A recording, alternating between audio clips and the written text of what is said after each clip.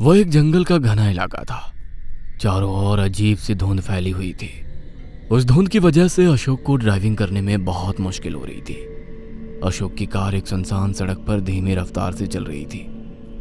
उस सड़क को देखकर ऐसा मालूम होता था, जैसे वो सड़क जंगल को चीर कर बनाई गई थी। शाम के पाँच बज चुके थे। रात के बादल उस जंगल के आसपास मंडराने लगे थे। अशोक पूरे सात घंटों से ड्राइविंग कर रहा था। उसे अपना शरीर बहुत दुखता हुआ सा महसूस हो रहा था। उसकी पत्नी दीक्षा को अब उलझन सी होने लगी थी।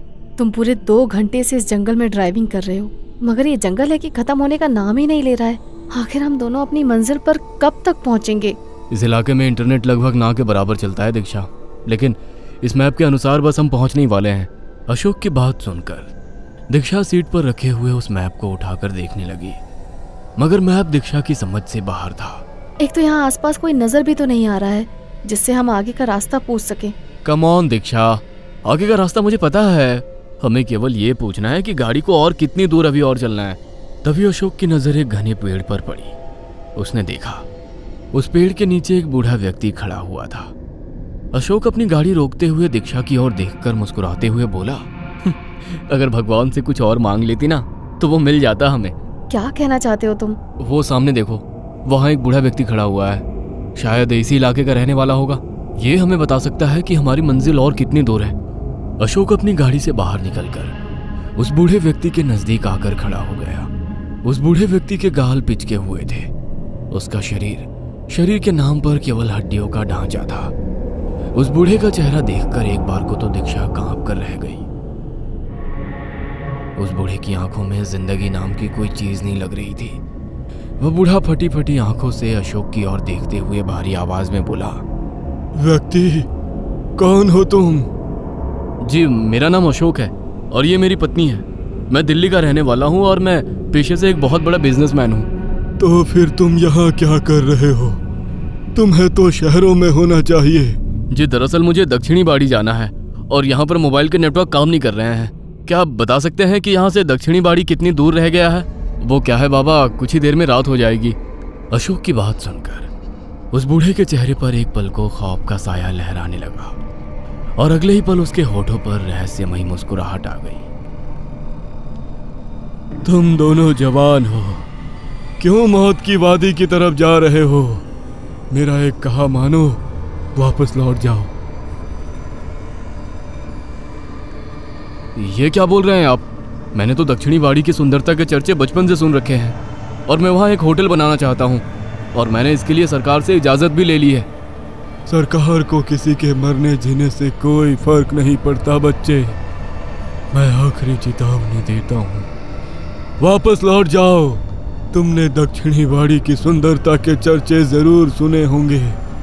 लेकिन तुम वो नहीं जानते जो मैं जानता हूँ। और मैं जानना भी नहीं चाहता। अगर आप प्लीज़ मुझे बता दें कि यहाँ से दक्षिणी बाड़ी और कितने किलोमीटर दूर रह गया है तो आपकी बहुत कृपा होगी। विनाश कालम विपरीत बुद्धि तुम अपनी मंजिल के बहुत करीब हो। दक्षिणी वाड़ी सिर्फ़ यहाँ से 20 किलोमीटर दूर रह गया है। बूढ़े की बात सुनकर अशोक और दीक्षा कार में बैठ गए। अशोक ने ड्राइव करनी शुरू कर दी।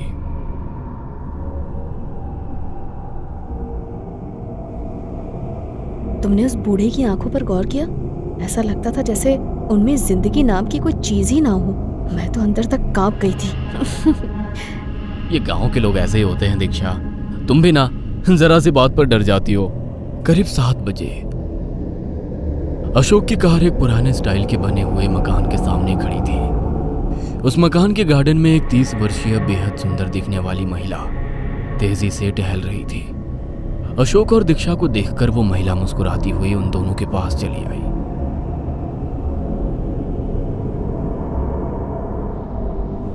शायद वो महिला उन दोनों का ही इंतज़ार कर रही थी। उस महिला ने बेहद बारीक नाइटी पहन रखी थी। उस महीन नाइटी को गौर से देखने पर उस महिला का शरीर साफ़ साफ़ देखा जा सकता था। दीक्षा चारों ओर आँखें फाड़ फाड़ कर देखने लगी। उसने देखा कि दक्षिणी बाड़ी में मौत जैसा सन्नाटा पसरा हुआ था। एक बात दीक्षा को बहुत ही अजीब लगी कि दक्षिणी बाड़ी में कुछ घर तो बेहद आलिशान बने हुए थे मगर कुछ घर बेहद जर्जर अवस्था में थे। अशोक मुस्कुराता हुआ उस महिला से बोला जी माफ़ कीजिएगा मुझे आने में देर हो गई क्योंकि जंगल में काफ़ी धुंध फैली हुई थी। वह सुंदर महिला बेहद रहस्यमय ढंग से मुस्कुराते हुए बोली ये पहाड़ी इलाका घने जंगलों से भरा हुआ है यहाँ अक्सर धुंध छाई रहती है। अजीब बात है मैं आपको देखकर इतना एक्साइटेड हो गया कि मैं तो आपका नाम पूछना ही भूल गया कि जिस महिला से मैं बात कर रहा हूँ क्या वो वही महिला है जिससे मैंने दस दिन पहले फ़ोन पर बात की थी? तुमने मुझे बिल्कुल सही पहचाना अशोक। मेरा नाम कामिनी है और फ़ोन पर मैंने ही तुमसे बात की थी। तभी वो इलाका अजीब सी आवाजों से गूंज उठा। जैसे बहुत सारी महिलाएँ आपस में मिलकर बुरी तरह से चीख रही हो। वहाँ पर अजीब सा शोर उत्पन्न हो गया। उस शोर को सुनकर दीक्षा बुरी तरह से डर गई और अशोक के बिल्कुल नज़दीक चिपक कर आकर खड़ी हो गई। ये कैसी आवाज़ है अशोक? डरने की कोई बात नहीं है। ये जंगली इलाका है इंसानों के लिए ये सोने का वक्त होता है। मगर भेड़ियों और जानवरों के लिए ये जागने का वक्त होता है। वैसे सर्दी बहुत ज़्यादा है अब तुम दोनों को अंदर आ जाना चाहिए। अशोक और कामिनी उस बड़े से मकान के अंदर चले गए मगर अंदर जाकर वो दोनों हैरत से उस मकान की भव्यता देखने लगे। बाहर से वो मकान इतना आलिशान नहीं मालूम दिखाई देता था, जितना कि वो अंदर से बना हुआ था।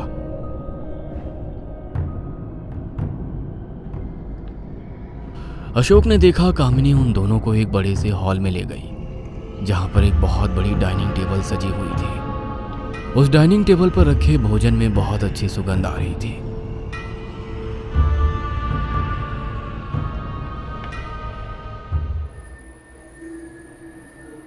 अशोक को बहुत तेज भूख लगी थी। वह तुरंत हाथ धोकर डाइनिंग टेबल की चेयर पर बैठ गया, मगर दीक्षा की भूख मर चुकी थी। उसे वहाँ पर अजीब सा महसूस हो रहा था। दीक्षा को ऐसा लग रहा था मानो कि वह पृथ्वी पर ना मौजूद होकर किसी और ग्रह में पहुँच गई हो। अशोक के ठीक सामने की चेयर पर कामिनी बैठी हुई अशोक को लगातार अजीब सी निगाहों से देखे जा रही थी। अशोक खाना खाने में व्यस्त हो गया, तभी अचानक अशोक को कुछ याद आया। और वो कामिनी की ओर देखकर बोला अब माफ़ कीजिएगा कामिनी जी मुझे बहुत तेज़ भूख लगी थी और मुझसे भूख कंट्रोल नहीं होती तो मैं आपसे खाने की पूछना ही भूल गया। कोई बात नहीं मैं रात में खाना नहीं खाती सिर्फ़ कॉफ़ी पीती हूँ। ये खाना मैंने सिर्फ़ तुम दोनों के लिए ही बनवाया है। इतना बोलकर कामिनी दीक्षा की ओर अजीब से अंदाज में देखकर बोली तुम खाना क्यों नहीं खा रही दीक्षा? मुझे भूख नहीं है। कामिनी दीक्षा की ओर देखकर अजीब से अंदाज में बोली कोई बात नहीं। ये पहाड़ी इलाका है। कुछ दिनों बाद यहाँ की तरह ताज़ी हवा खाकर तुम्हें भी भूख लगने लगेगी। खाना वाकई बहुत लाजवाब बना है कामिनी जी। यकीन मानिए, मैं इतना लजीज खाना इससे पहले कभी नहीं खाया। मेरा तो पेट भर गया। अशोक के इतना कहते ही दो सुंदर स्त्रियाँ उस कमरे में आ गई और खाने के जूठे बर्तन उठाकर ले गई।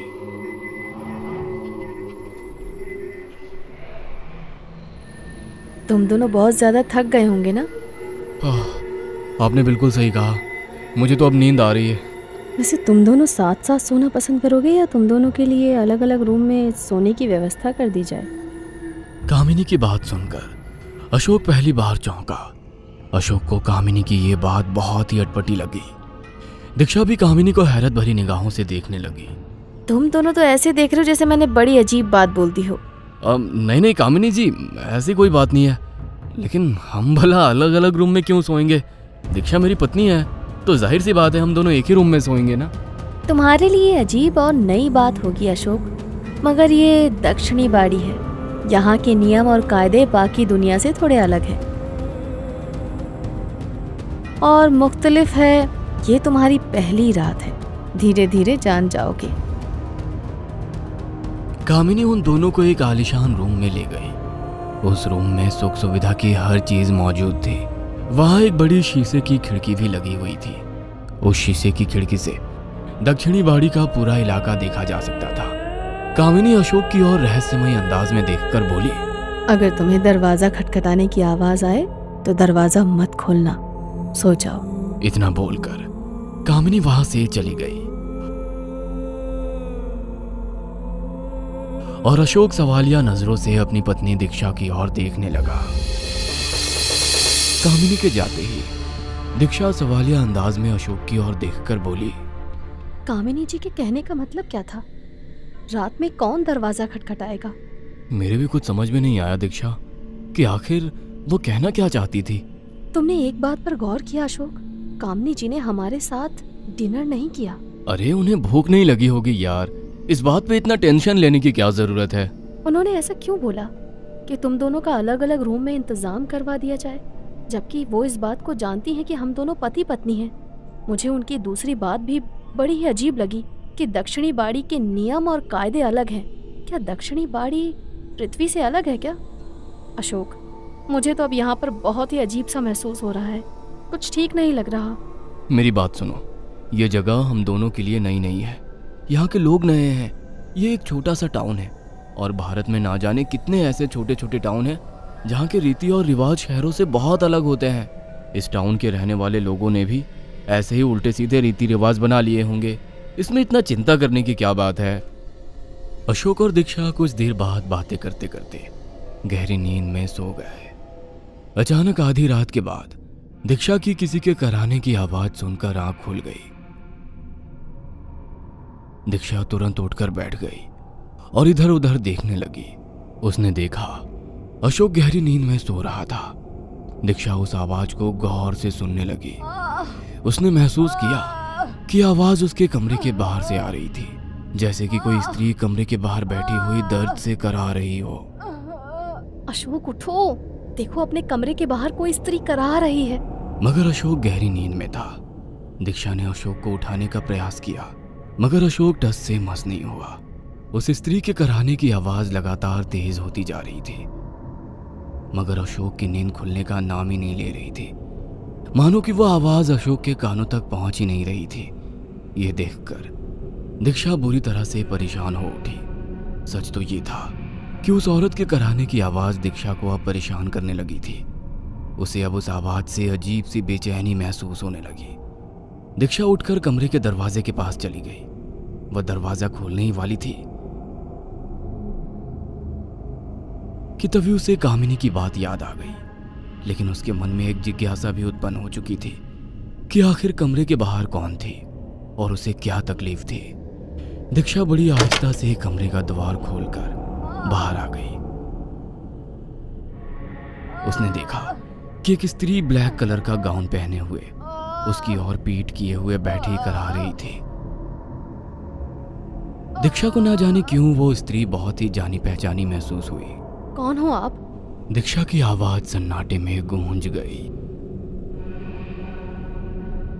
अचानक वो स्त्री रोती हुई घर के बाहर जाने लगी। अरे आप कहाँ जा रही हैं? मेरी बात तो सुनिए। क्या तकलीफ़ है आपको? और आप रो क्यों रही हैं? मगर वो स्त्री दीक्षा की बात का जवाब दिए बगैर तेज़ी से गेट के बाहर खड़ी हो गई। बाहर भयंकर ठंड थी। तेज हवा के साथ साथ हल्की हल्की बर्फबारी भी हो रही थी। दीक्षा उस स्त्री से थोड़ी दूर खड़ी होकर बोली आप जवाब क्यों नहीं देती?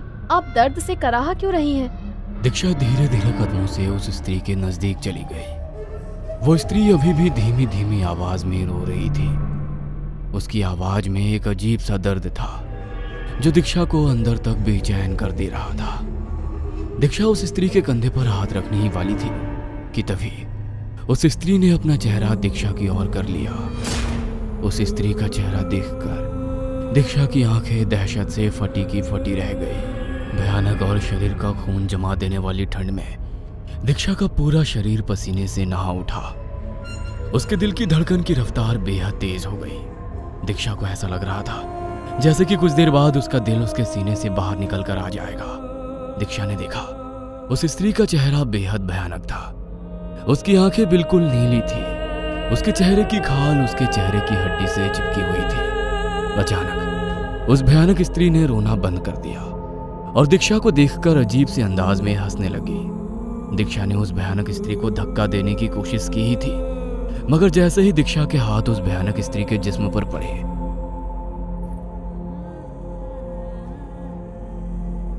दीक्षा को सब कुछ घूमता हुआ सा महसूस हुआ। उसे ऐसा महसूस हुआ, जैसे कि वो ज़मीन की गहराइयों से समाती चली जा रही हो। कुछ ही देर के बाद उसे अपने शरीर बेजान सा होता हुआ महसूस होने लगा। दीक्षा बेहोशी की गहराइयों में समा गई। बेहोश होने के कुछ ही क्षणों बाद दीक्षा को ऐसा महसूस हुआ जैसे कि कोई उसे बहुत दूर से पुकार रहा हो। उसे ऐसा महसूस हो रहा था जैसे कि उसका शरीर किसी कुएँ के अंदर पड़ा हुआ हो और पुकारने वाले की आवाज़ बहुत दूर से उसके कानों में टकरा रही हो। दीक्षा उठने की कोशिश कर रही थी, मगर वो चाह कर भी उठ नहीं पा रही थी। दीक्षा ने अपनी पूरी ताकत लगाकर अपने शरीर को हिलाने की कोशिश की, मगर उसकी यह कोशिश भी नाकाम हो गई। बड़ी मुश्किल से उसने अपनी आँखें खोली तो उसने देखा कि वो उसी रूम के बेड पर लेटी हुई थी, जिस रूम में वो कुछ देर पहले बाहर निकली थी। वो अशोक के साथ ही बेड पर लेटी हुई थी। अशोक अभी भी गहरी नींद में सो रहा था, मगर दीक्षा सिर्फ़ अपनी आँखें ही इधर उधर घुमा पा रही थी। उसका शरीर काम नहीं कर पा रहा था। अचानक उसकी नज़र कमरे की छत के ऊपर पड़ी। ऊपर का नज़ारा देखकर दीक्षा के खून में डर की एक लहर दौड़ गई। उसने देखा कि छत पर वही औरत थी। उसका वो चेहरा पूरी तरह से सड़ चुका था। उसकी लंबाई कम से कम 10 से 12 फुट के आसपास हो चुकी थी। वो दीक्षा को खा जाने वाली नज़रों से घूर रही थी। उस भयानक दिखने वाली औरत के बाल इतने लंबे थे कि वो दीक्षा के गालों को छू रहे थे।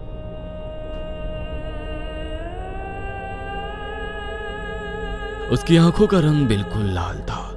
उसके चेहरे को देखकर दीक्षा को ऐसा महसूस हो रहा था। मानो उसके शरीर से खून की एक बूंद निचोड़ ली गई हो।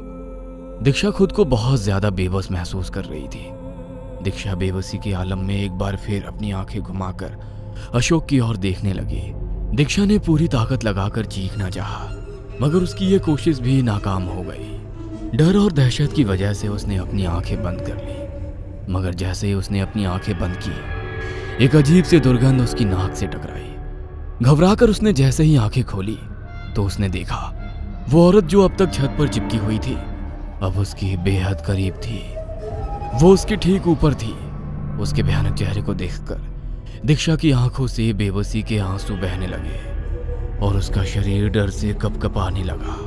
दीक्षा की बेबसी पर वो भयानक औरत मुस्कुराने लगी और उस भयानक औरत ने बेहोशी अंदाज में मुस्कुराते हुए भारी आवाज़ में कहा, दक्षिणी बाड़ी में तुम्हारा स्वागत है।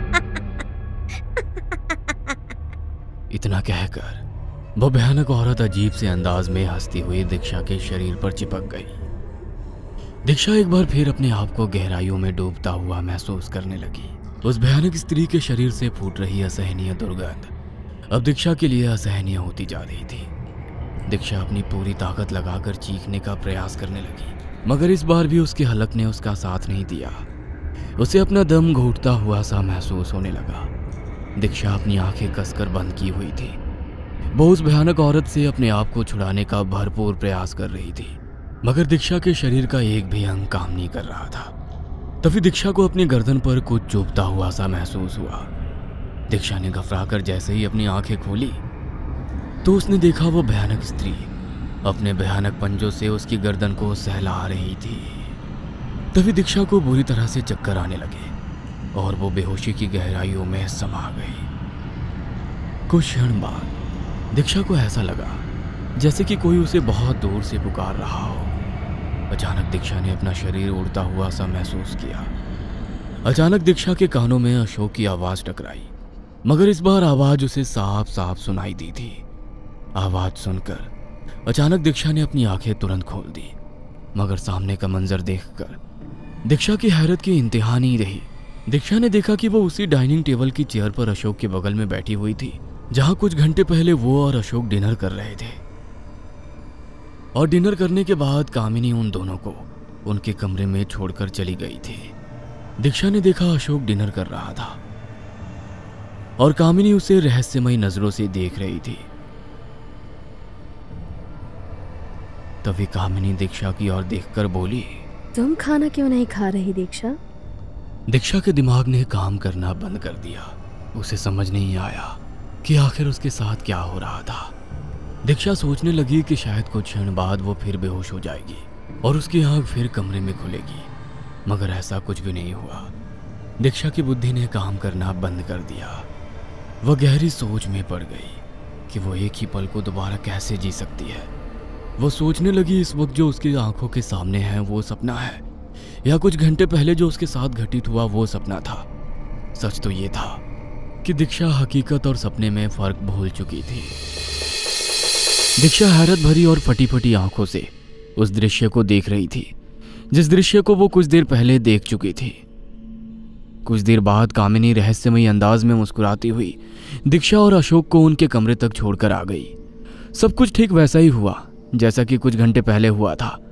दीक्षा को हैरान और परेशान देखकर अशोक ने चिंतन भरे लहजे में दीक्षा से पूछा क्या हुआ दीक्षा? तुम ठीक तो हो? डाइनिंग टेबल पर भी मैंने देखा कि तुम मुझे और कामिनी जी को घूर घूर कर देखे जा रही थी। दीक्षा कांपते हुए लहजे में अशोक की ओर देखकर बोली हमें यहाँ से वापस चलना चाहिए अशोक। लगता है उस बूढ़े ने सही कहा था। तुम कहीं पागल तो नहीं हो गई? अचानक तुम्हें क्या हो गया?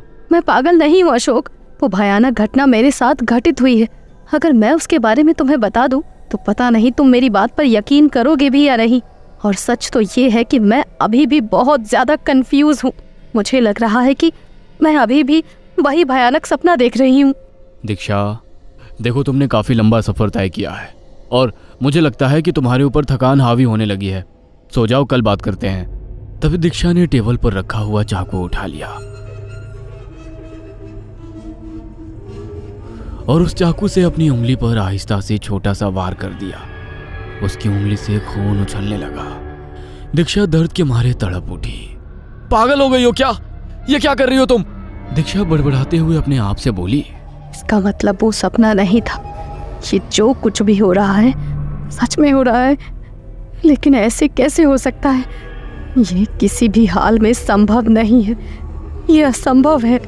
दीक्षा ये क्या बड़बड़ा रही हो? क्या हो गया है तुम्हें? दीक्षा एक ही सांस में अपने साथ घटित उस भयानक घटना को बताने लगी। पूरी घटना सुनने के बाद, अशोक दीक्षा के चेहरे को बहुत गौर से देखने लगा। वह दीक्षा को ऐसे देख रहा था, जैसे कि दीक्षा का मानसिक संतुलन सही ना हो। मतलब तुम ये कहना चाहती हो कि कुछ घंटे पहले कामिनी जी हम दोनों को इसी रूम में छोड़कर गई थी, और हम दोनों सो गए। उसके बाद तुम्हारी आँख इसी कमरे के बाहर किसी स्त्री की आवाज़ से खुल गई, और तुम दरवाजे के बाहर चली गई। वहाँ तुमने वो सब कुछ देखा जो तुमने मुझे अभी बताया और तुमने अपने आप को फिर से उसी जगह पर और उसी वक्त में मौजूद पाया जिस वक्त तुम डाइनिंग टेबल पर मेरे साथ डिनर कर रही थी। मतलब तुम वक्त में कुछ घंटों पहले दोबारा वापस लौट गई और ये अभी ये सब कुछ तुम्हारे साथ फिर से दोबारा हो रहा है। हाँ अशोक मेरे साथ बिल्कुल यही हुआ है। दीक्षा की बात सुनकर अशोक ज़ोर ज़ोर से हंसने लगा। कम ऑन दीक्षा सो जाओ मुझे बहुत नींद आ रही है। हम इस टॉपिक पर कल सुबह बात करेंगे। इतना बोलकर अशोक बेड पर लेट गया और कुछ ही देर में गहरी नींद में खर्राटे लेने लगा। मगर दीक्षा की आँखों से नींद कोसों दूर थी। वह अभी भी खड़ी हुई सोते हुए अशोक को आँख फाड़ फाड़ कर देखे जा रही थी। दीक्षा काफ़ी देर तक ऐसे ही खड़ी रही। वह समझ गई कि अशोक उसकी बात का यकीन नहीं करेगा। दीक्षा अशोक के पास जाकर लेटने ही वाली थी। कि तभी उसके कंधे पर पीछे से किसी ने हाथ रखा। उस कमरे में दीक्षा और अशोक के अलावा और कोई मौजूद नहीं था। दीक्षा ने जैसे ही पलट कर देखा तो उसकी आँखें हैरत और दहशत से फटी की फटी रह गई। उसने देखा कि पीछे अशोक खड़ा हुआ उसे देखकर अजीब से अंदाज में मुस्कुराए जा रहा था। दीक्षा कांपती हुई आवाज़ में अशोक की ओर देखती हुई बोली कौन हो तुम? है? क्या तुम्हारा दिमाग तो ठीक है दीक्षा? मैं अशोक हूँ। ऐसे कैसे हो सकता है? तुम तो बेड पर सो रहे हो ना? दो दो अशोक कैसे हो सकते हैं? क्या बोल रही हो तुम? बेड तो खाली है। दीक्षा ने जैसे ही बेड पर नज़र डाली तो अब उस बेड पर कोई मौजूद नहीं था। दीक्षा अपने दोनों हाथों से अपने सर को थाम कर घुटनों के बल बैठ गई। वो चीखती हुई बोली आखिर ये क्या हो रहा है मेरे साथ? कुछ क्षण बाद निशा के कानों में कामिनी की आवाज़ टकराई। तुम्हें ऐसे डरना नहीं चाहिए दीक्षा। डर तुम्हारे ऊपर शोभा नहीं देता। कामिनी की आवाज़ सुनकर दीक्षा बुरी तरह से चौंक गई। उसने जैसे ही अपनी नज़रें उठाकर ऊपर देखा तो उसके गले से एक जोरदार चीख निकल गई। उसने देखा, कामिनी वही वस्त्र पहने हुए उसके सामने खड़ी हुई थी, मगर उसका चेहरा बेहद भयानक था। उसकी आँखों का रंग गहरा नीला था। उसके चेहरे की खाल लटक रही थी। उसके शरीर पर मांस जगह जगह से सूखा हुआ था। कामिनी भयानक अंदाज में हंसती हुई दीक्षा की ओर देखकर बोली दक्षिणी बाड़ी में तुम्हारा स्वागत है दीक्षा। हमने तुम्हारा काफ़ी सालों तक इंतज़ार किया और आखिरकार तुम आ ही गई। इतना बोलकर कामिनी अपना भयानक चेहरा लिए हुए दीक्षा के ठीक सामने किसी जानवर की तरह घुटनों के बल बैठ गई। दीक्षा ने देखा उसकी हड्डियाँ बेहद लचीली हो चुकी थी। अचानक कामिनी दीक्षा को देखकर अजीब से अंदाज में अजीब अजीब सी आवाज़ें निकालती हुई बुरी तरह से हंसने लगी। कामिनी की भयानक आवाज़ दीक्षा को अपने कानों में किसी हथौड़े जैसी महसूस हो रही थी। दीक्षा चीखती हुई वहीं पर बेहोश हो गई। अगली सुबह दीक्षा की आँख बेड पर खुली। दीक्षा ने देखा, अशोक उसे बहुत ही गौर से देखे जा रहा था।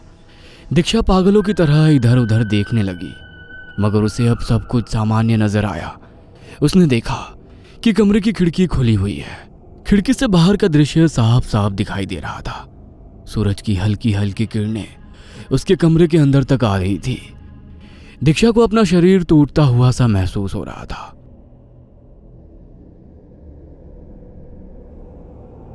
अशोक टेबल पर रखा हुआ एक कप उठाता हुआ दीक्षा से बोला, तुम्हें पता है दीक्षा मैं पिछले एक घंटे से तुम्हें उठा रहा हूँ, लेकिन तुम इतने घोड़े बेचकर सो रही थी कि उठने का नाम ही नहीं ले रही थी।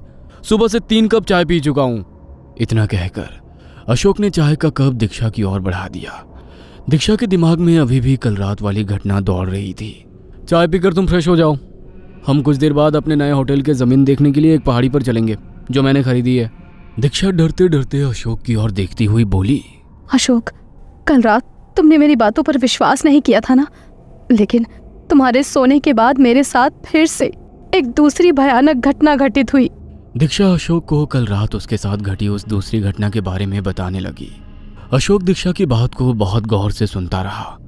कुछ देर बाद अशोक मुस्कुराते हुए बोला, पागल हो गई हो क्या? हाँ? अरे, डिनर के बाद कामिनी जी हमें रूम में छोड़कर गई थी। उसके बाद मैं और तुम गहरी नींद में सो गए। तुम बोल रही थी कि तुम्हारे साथ एक भयानक घटना घटित हुई, और तुमने मुझे कल रात उस घटना के बारे में भी बताया। अरे, मैंने तुम्हारी बात पर विश्वास नहीं किया। दीक्षा, तुमने ज़रूर सपना के अंदर सपना देखा होगा। कभी कभी ऐसा होता है कि हम सपना देखते हैं और उस सपने में एक और सपना देखते हैं। और जब सुबह हमारी आँख खुलती है तो हमें सपने के अंदर का सपना काफ़ी सच प्रतीत होता हुआ महसूस होता है। सच तो ये है कि तुम उस बूढ़े की बात से इतना घबरा गई हो कि तुमने अपने दिमाग में ज़रूरत से ज़्यादा टेंशन ले लिया है। अब ज़्यादा सोचो मत, तैयार हो जाओ। हमें अभी निकलना है। इतना कहकर अशोक कमरे से बाहर चला गया।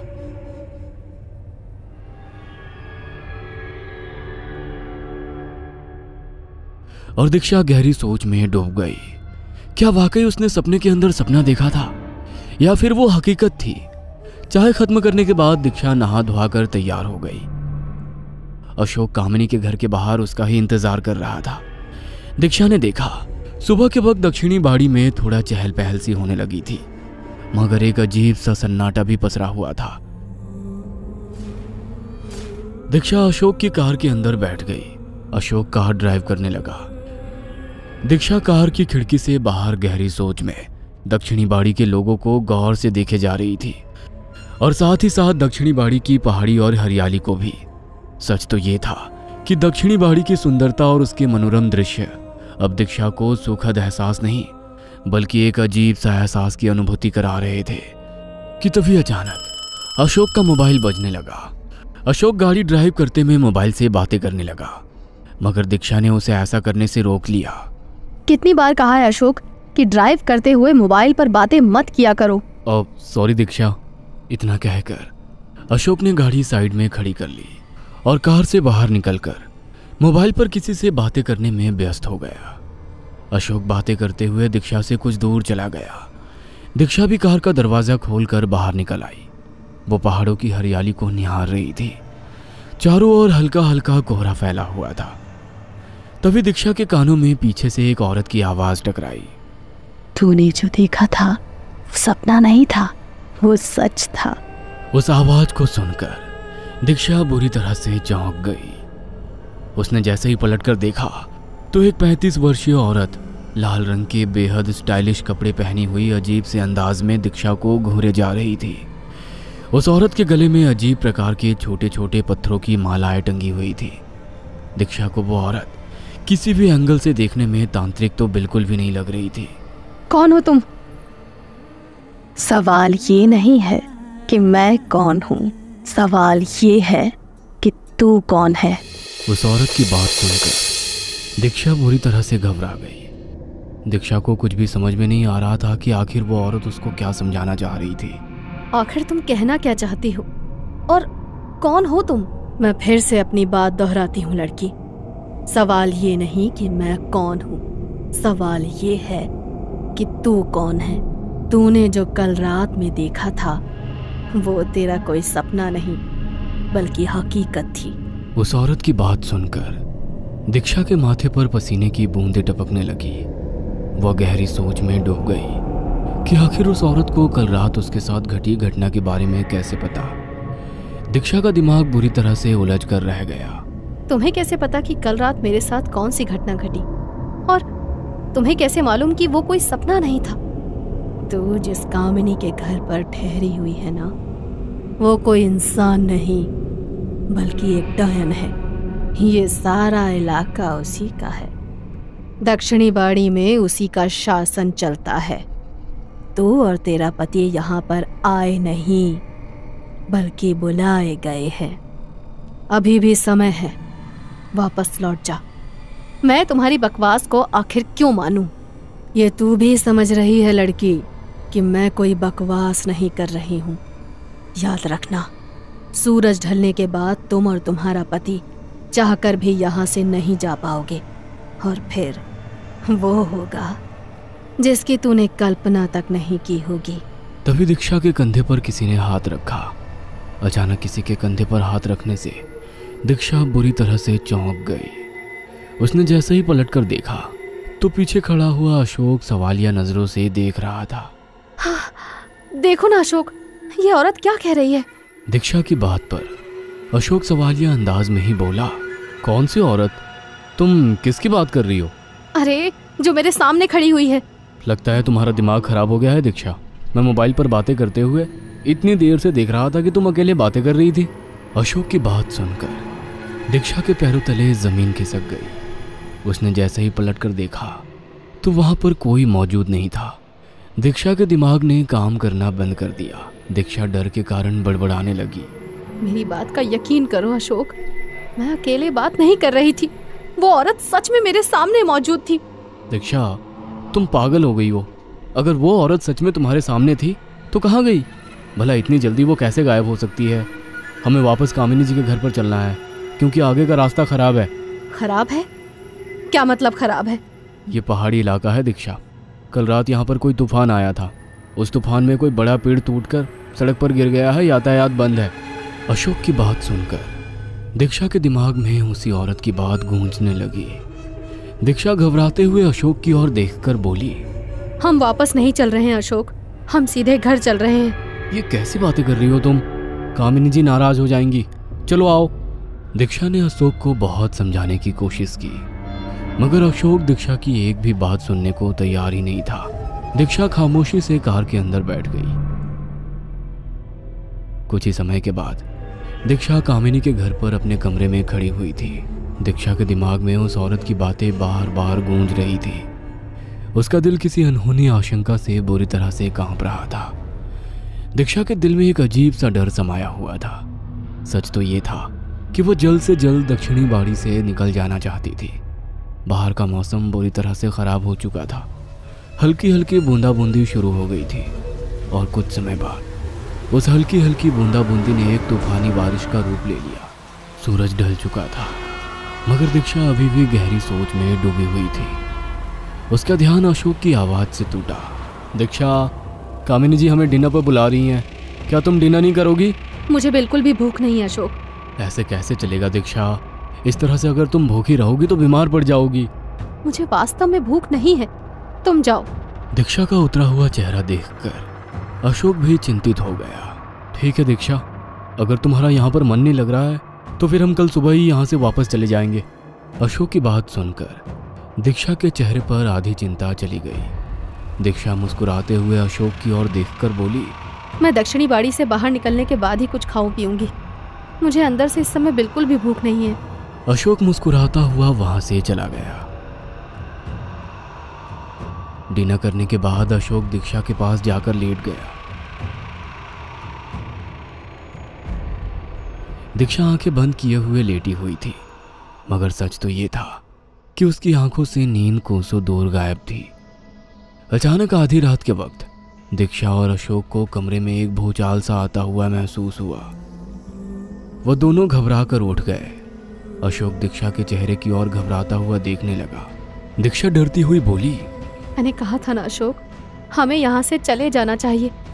लगता है लगता है उस उस औरत की बात सही थी। दीक्षा ने इतना कहा ही था कि तभी तेज हवा के साथ दीक्षा के कमरे पर लगी हुई कांच की बड़ी बड़ी खिड़कियों के शीशे टूट टूटकर चकनाचूर हो गए। उसके बाद का मंजर बड़ा ही डरावना था। उस खौफनाक दृश्य को देखकर दीक्षा और अशोक के गले से जोरदार चीख निकल गई। उन दोनों ने देखा, तीन बड़ी बड़ी इंसानी आकार की चमगादड़े बेहद तेज रफ्तार से उड़ती हुई कमरे के अंदर आ गई। वह तीनों चमगादड़ दीक्षा और अशोक के सामने खड़ी हुई उन्हें हैवानियों नज़रों से देख रही थी। अगले ही पल, एक चमगादड़ ने कामिनी का रूप धारण कर लिया। यह देखकर अशोक की हैरत की इंतहा नहीं रही। अशोक घबराता हुआ कामिनी की ओर देखकर बोला, कौन हो तुम? मगर कामिनी ने अशोक की बात का कोई जवाब नहीं दिया। अगले ही पल, कामिनी के साथ खड़ी हुई दो चमगादड़, बेहद सुंदर स्त्री में परिवर्तित हो गई।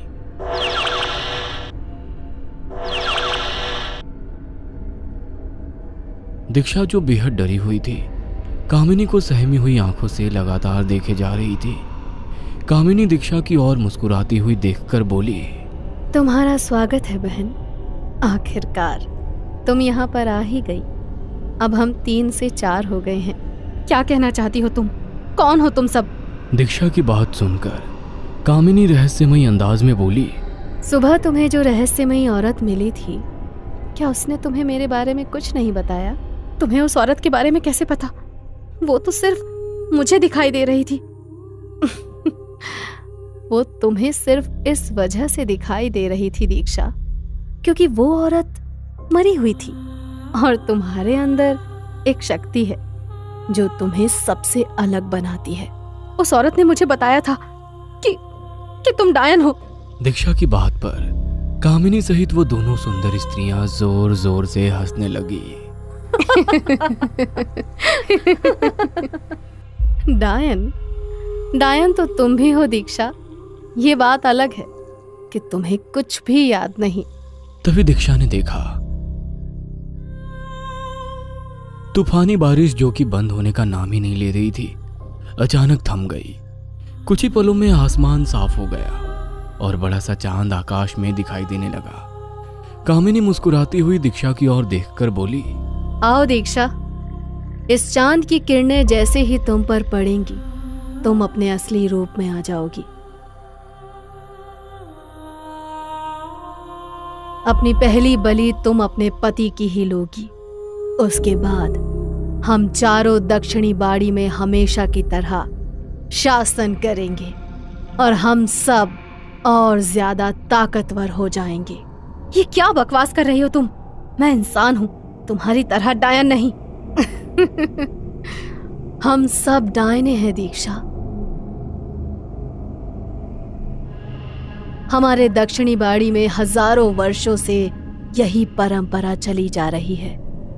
हमारे यहाँ कोई भी बच्चा पैदा होता है तो हम उसे इंसानों के बीच रहने के लिए भेज देते हैं, ताकि वो इंसानों के तौर तरीके समझ सके और 25 वर्ष की आयु के बाद हम उसे किसी न किसी ज़रिए से दक्षिणी बाड़ी में वापस बुला लेते हैं। यकीन मानो, दीक्षा। इंसानी खून और मांस बहुत स्वादिष्ट होता है। आज रात के बाद तुम्हारा यही भोजन होगा।